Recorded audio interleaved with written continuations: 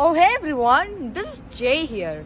Today's word of the day is jubilant. J U B L I A N T. If you're jubilant, you're feeling or expressing great happiness or triumph. To understand this better, I can say that all the jubilant children started jumping up and down when they're seeing the fireworks. Another example is the jubilant fans were excited to see CSK win. I hope you found this useful. Thank you.